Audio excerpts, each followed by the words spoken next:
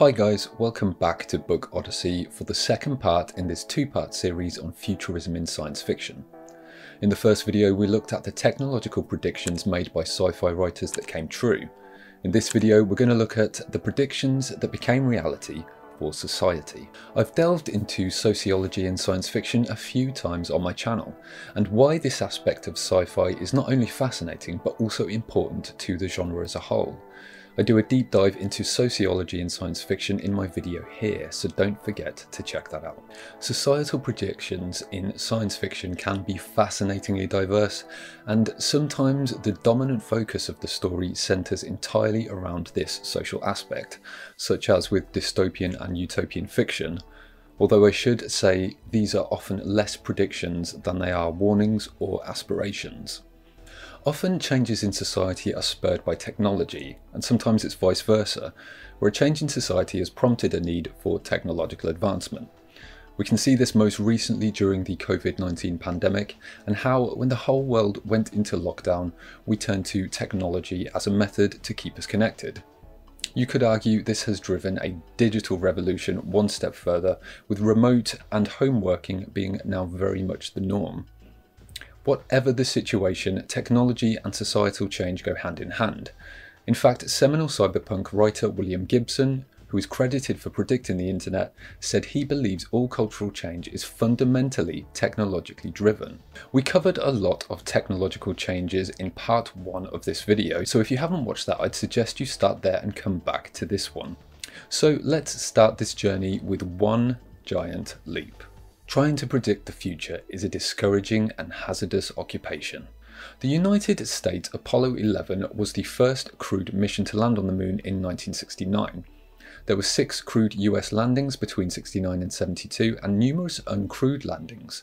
It was certainly one giant leap for mankind and was a scientific and engineering feat the likes of which we arguably haven't seen since science fiction novel by Jules Verne, From the Earth to the Moon, published in 1865, astoundingly predicted many aspects of the 69 manned lunar landing of Apollo 11. Verne's astronauts were launched from a Florida site in an aluminium capsule, and in the book he even gave accurate calculations as to the amount of force that would be needed to propel the rocket out of Earth's atmosphere.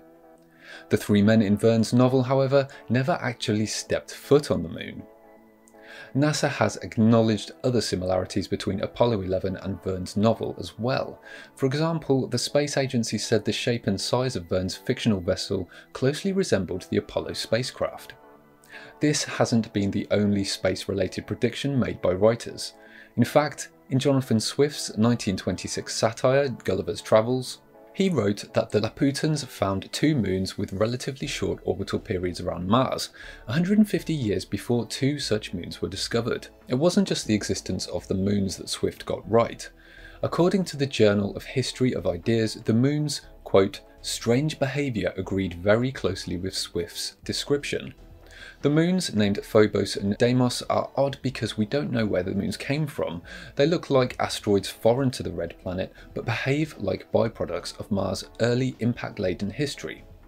Several craters on Mars' moons Phobos are now named after Swift's characters. In the first part of this Futurism in Sci-Fi series, we looked at how British science fiction author and futurist Arthur C. Clarke predicted satellites in geosynchronous orbit of Earth being used for telecommunication relays and for television signals. Not only was this accurate, but it also led to the term Clarke orbit being used for when an orbiting object is stationary over a point on the equator of a rotating object.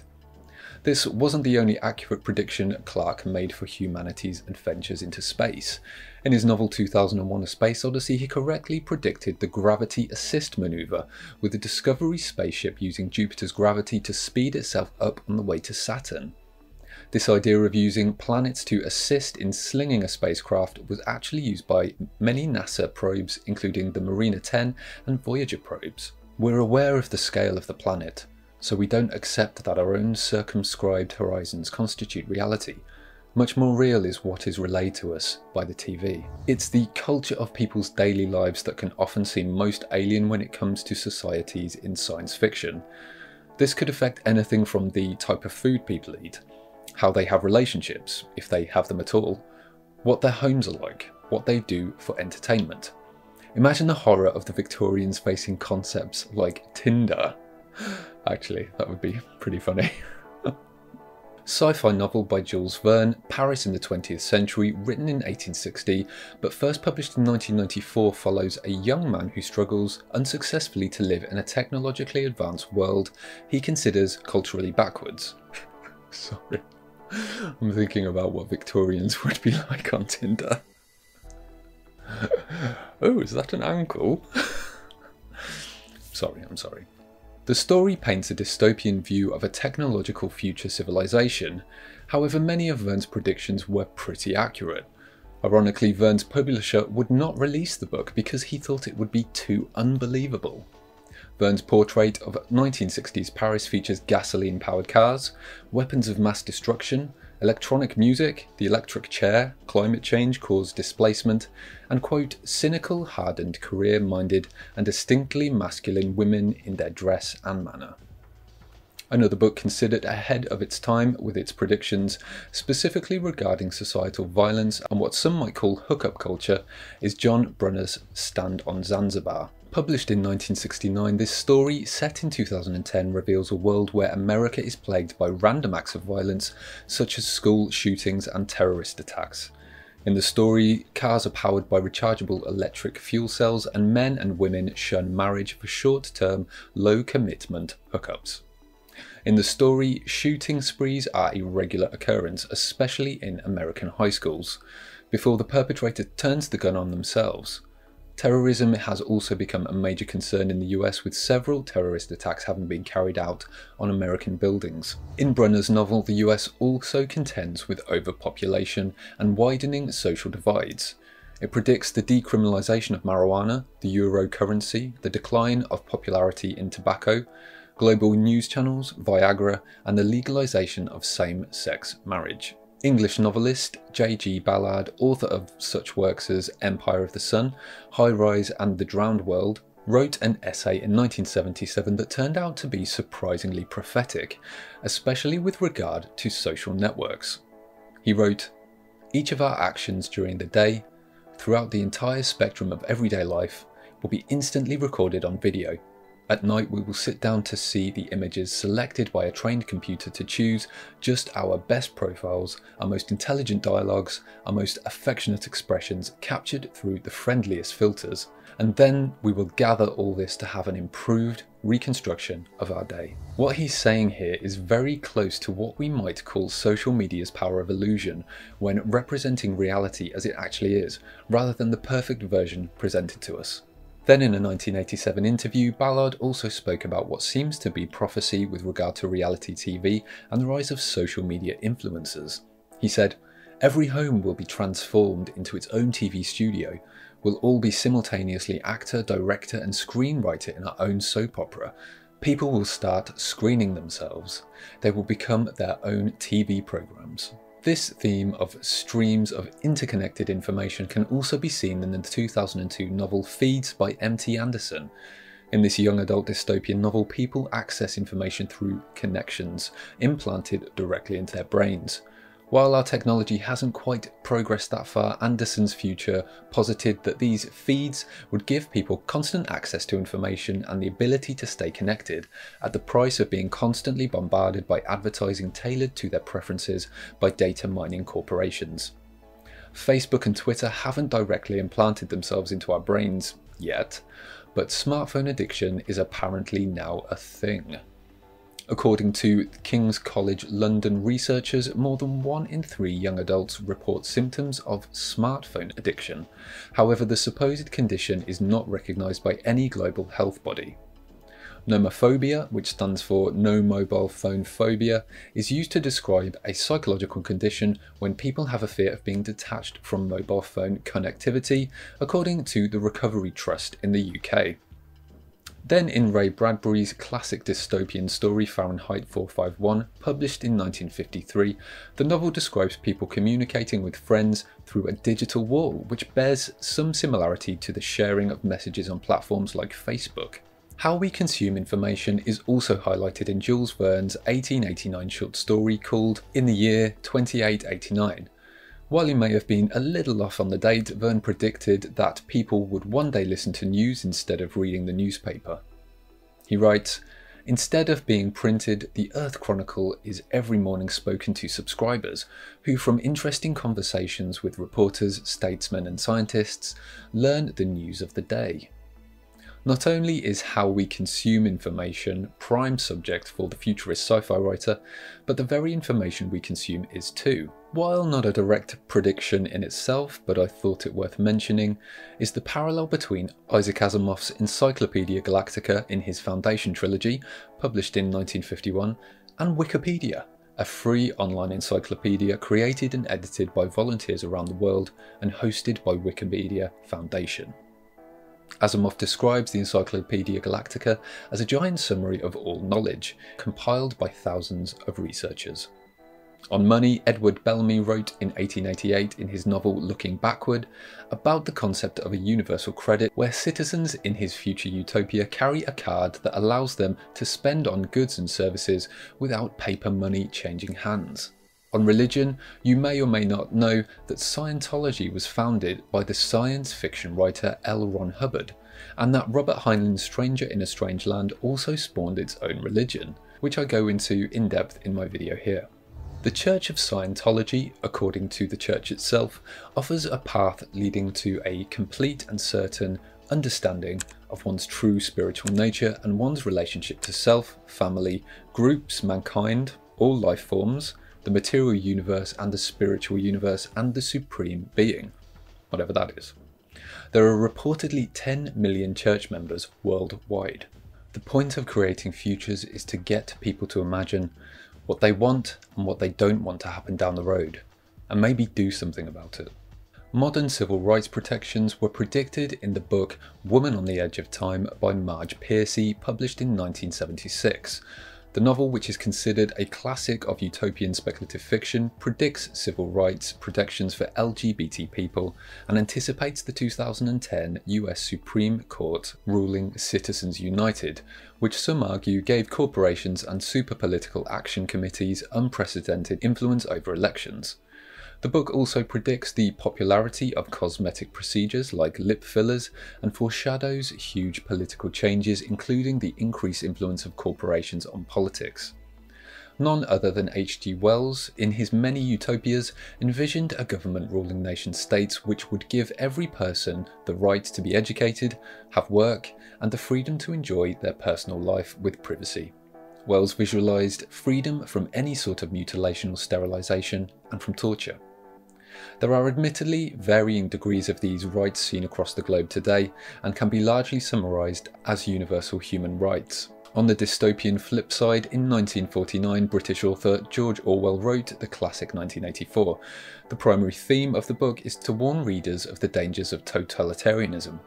The central focus is to convey the extreme level of control and power possible under a truly totalitarian regime. It explores how such a governmental system would impact society and the people who live in it. In the story, he describes the concept of a dystopian state monitored by an interconnected web of security cameras so that personal privacy has been all but obliterated. According to 2021 research by Tooltester, China has more CCTV than anywhere else in the world, with over one camera for every citizen in its major cities. It's almost impossible to go unnoticed there. Perhaps more surprisingly, according to the research, is that the US comes in second and has an average of two cameras for every 10 people in its major cities. The UK claimed third place, with one CCTV camera for every 16 citizens in larger cities. Nothing remains the same from one moment to the next. You can't step into the same river twice. Life, evolution, the whole universe of space-time, matter, energy, existence itself is essentially change. The environment is always in the news in some form, and it has been for at least as long as I can remember, with climate change currently at the top of the agenda growing environmental concern is often reflected in science fiction.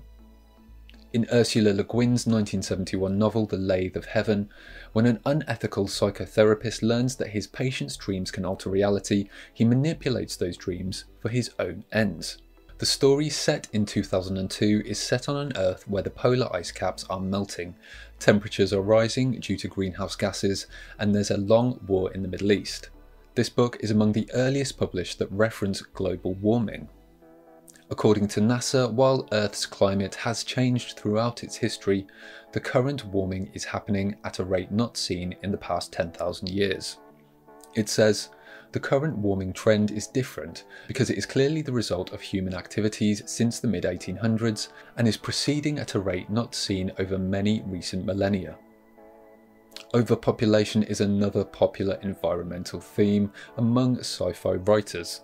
Make Room, Make Room is a 1966 science fiction novel written by Henry Harrison exploring the consequences of unchecked population growth on society. It was one of the first mainstream commercial fiction books to address overpopulation concerns. The book is also famous for inspiring the 1973 film Soylent Green, in which population growth triggers an alarming solution to food shortages. In the story, a gangster is murdered during a blistering Manhattan heatwave, and city cop Andy Rusch is under pressure to solve the crime. While overpopulation is a clear concern in some areas of the globe, it is an area of debate.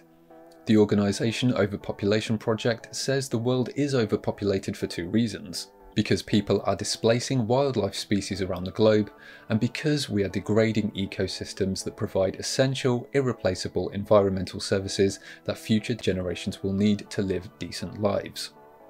According to a report by Sustainable Review, there are indications why overpopulation is a myth, including the fact that in 2021 China and the US saw its first population decline in 60 years, and every region on Earth except Africa now expects more deaths than births in the coming decades.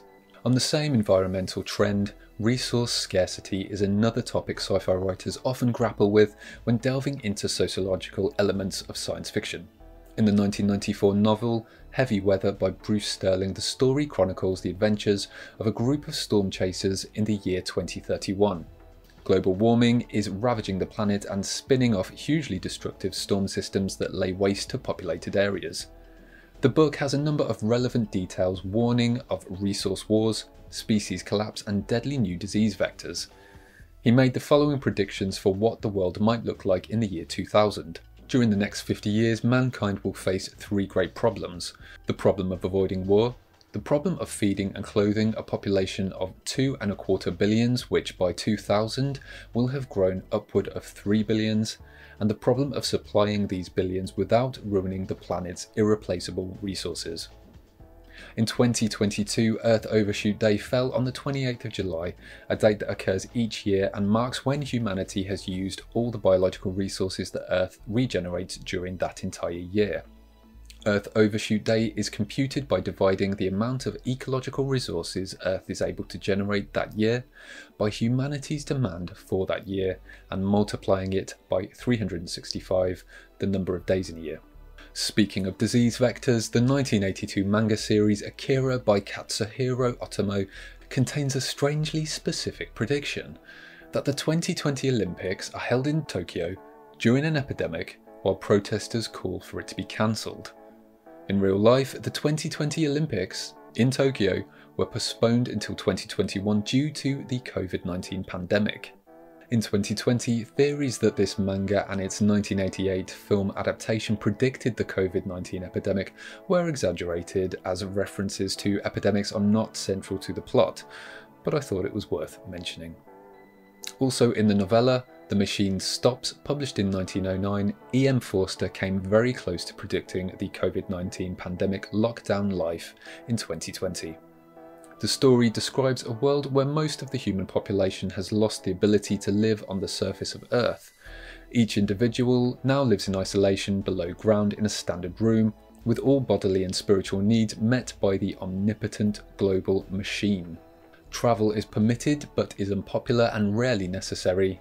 Communication is made via a kind of instant messaging slash video conferencing machine. Life, although it may only be an accumulation of anguish, is dear to me, and I will defend it. It could be argued that little makes an impact to a society the way medical advancements do. Think back to before penicillin, antibiotics, vaccines, surgery, the list goes on. So it's only right that science fiction writers speculate on how advancements of the future will impact health and society. Organ transplants were one such advancements that was thought up in one of the earliest science fiction novels, Mary Shelley's The Modern Prometheus, or Frankenstein. The story is told by an English explorer in the Arctic who assists Victor Frankenstein on the final leg of his chase at the end of the novel. Frankenstein is a talented young medical student who strikes upon the secret of conquering death.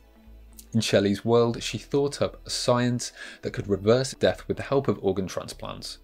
Dr. Frankenstein reanimates dead tissue with electricity after sewing it together, and while that may be quite far out, even for modern medical practices, the foresight did imagine organ transplants more than 100 years before they ever happened. In 1954, the kidney was the first human organ to be transplanted successfully. Liver, heart, and pancreas transplants were successfully performed by the late 1960s, while lung and intestinal organ transplants procedures began in the 1980s. Martin Caidin's 1972 novel Cyborg predicted the first bionic limb. The novel follows former astronaut turned pilot Steve Austin who crashes during a flight, leaving him with only one limb and blind in one eye. A team of scientists gives Austin new legs, removable eye with a camera, and a bionic arm which makes him a cyborg, or a mixture of man and machine. The book prophesied the first bionic leg transplant by 41 years. In 1942, sci-fi giant Robert Heinlein published a short story entitled Waldo. It chronicles the journey of a mechanical genius who overcomes his skeletal muscle disease by inventing a device called Waldo F. Jones Synchronous Reduplicating Pantograph. It lets him control a much larger remote mechanical arm simply by moving his hand and fingers. In recognition of Heinlein's idea, real-life remote manipulators have become popularly known as Waldos, a company called the Character Shop later trademarked the word Waldo for their data capture input devices that they use to control their puppets and animatronics. While advancements in genetic engineering are currently still in their infant stages, with gene editing technology such as CRISPR continuing to emerge, genetic engineering is here and will only see further advancements in the near future, bringing with it a whole host of ethical and moral conundrums that humanity will have to face. The 1896 H.G. Wells novel The Island of Dr. Moreau follows Edward Prendick, who is a shipwrecked man rescued by a passing boat. He is left on the island home of Dr. Moreau, a mad scientist who creates human-like hybrid beings from animals via vivisection. The novel deals with several philosophical themes, including moral responsibility, human identity, and human interference with nature. Wells describes it as an exercise in youthful blasphemy, but is in fact a prophetic future take on genetic engineering. Another writer of classic science fiction, Aldous Huxley, thought up a society where the inhabitants were all hooked on a euphoria-inducing drug called soma, which today could be compared to antidepressants, painkillers and tranquilizers. Huxley foreshadowed the antidepressant in his novel Brave New World, published in 1932. In modern medicine, antidepressants were not considered or studied until 1950. In the book, Soma raises an impenetrable wall between the real world and the mind of its users. Today, according to the Pharmaceutical Journal, the number of antidepressants prescribed in England over the past six years has increased by almost 35%, and in the US, one in eight Americans are on them right now, according to BigThink.com. The study notes this doesn't include the large number of tranquilizers, anti-anxiety medications, or those who self-medicate with alcohol or legal marijuana. The UK's Royal College of Psychiatrists said there are complex reasons why prescriptions for antidepressants are rising, which include progress on diagnosis and support for people with depression, changes in dosages, and the range of conditions they are prescribed for. Huxley's dystopia is especially terrifying in that the enslaved population absolutely loves their slavery and through eugenics are born into a rigid caste system. Eugenics is the study of manipulating reproduction within a human population toward a particular outcome. Today, prenatal screening has created the ability for many parents to decide if they wish to carry a disabled fetus to term or not. In Iceland, this has resulted in the near eradication of new cases of Down syndrome in the country, Almost 100% of detected cases lead to an abortion shortly after, according to the same Big Think article. Less well known is the process of sperm sorting, which allows for a couple to increase the chances of choosing the gender of their child as part of the process of in vitro fertilization, as well as used to prevent X-linked diseases. So now we've come to the end of this two-part series and while we've certainly covered a lot, I'm sure there are many more instances of sci-fi predicting reality out there. So let me know in the comments if you find any. Before I go, I just want to leave you with this thought. Did all of the books we've covered make predictions or did they actually inspire? And if that is the case, what is today's science fiction predicting or inspiring for tomorrow's future? Until next time guys, happy reading.